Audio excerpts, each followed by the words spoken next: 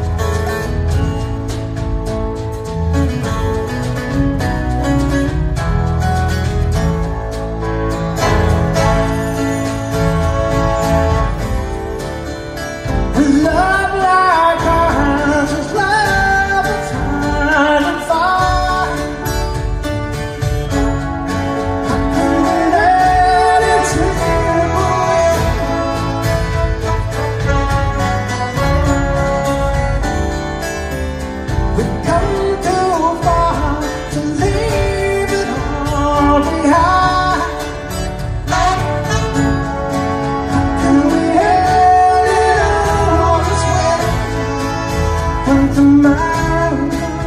that we both regret Things we said tonight